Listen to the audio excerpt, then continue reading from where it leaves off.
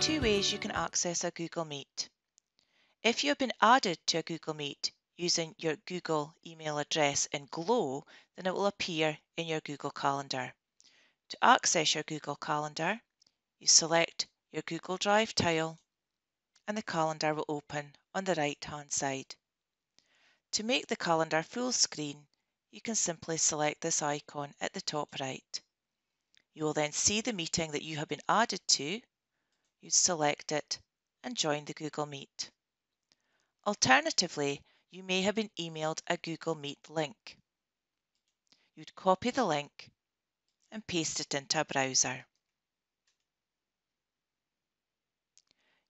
You will then be asked to log in with a Google account. Now you can use your Google email address in Glow. To access that information, you would go to your Glow Launchpad, select your profile from the top right, and then select My Profile. From here, you will see the email address that is linked to your Google account in Glow. You can then use that to join the Google Meet and it will prompt you to log into Glow as normal.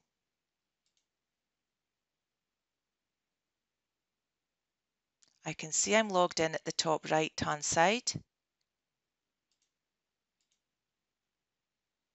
And now I can simply join that meeting.